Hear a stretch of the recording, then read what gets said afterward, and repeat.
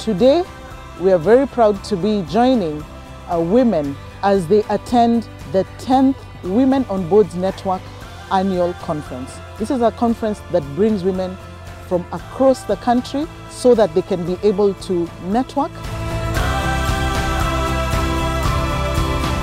I would like to challenge the leaders who are here to put in place not just gender responsive policies, but gender sensitive policies as well.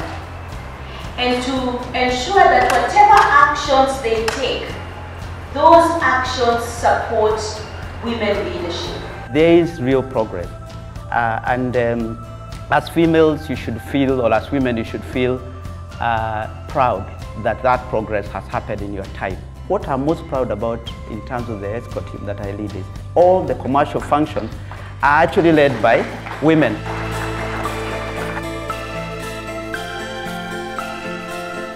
This year, we have been fortunate enough to have Safaricom on board, one as our connectivity partner, two, they have brought their CEO who has shared real nuggets about, you know, leadership. One of my key takeaways really is what Safaricom is doing about gender diversity.